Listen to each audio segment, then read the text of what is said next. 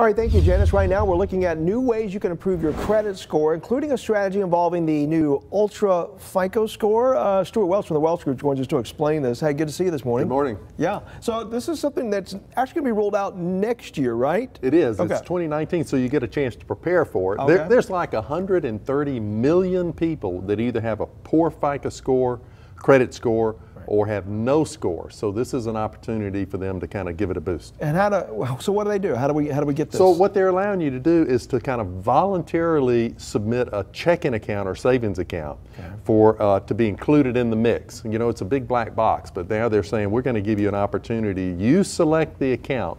And, uh, uh, and we're going to, and it can improve your score maybe 20 points. So if you're on the threshold of going from a poor score to the next level, this might push you over the, uh, over the limit. now, who do you contact to add it? You cut one of the three credit bureaus? How does Yeah, this you happen? would. So you would uh, you do it through the credit bureaus and uh, and and do a submission. i all the details aren't exactly out there, Okay. but but but what we do know is what a good ultra FICO score looks like. Okay. And that's that checking account. You'd want the balance to be four hundred dollars or more, Okay. so not under that.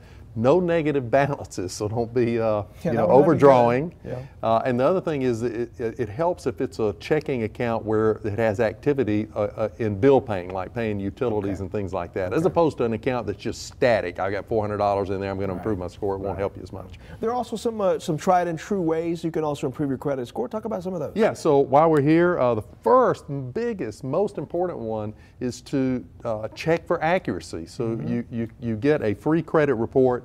Uh, you, go to annualcreditreport.com, uh, check for errors. So uh, it's estimated 20% of those reports will have errors in them. So you need to go to each of the credit bureaus. That would be Experian, TransUnion, and Equifax. This next one's kind of Captain Obvious, but you should pay your bills on time.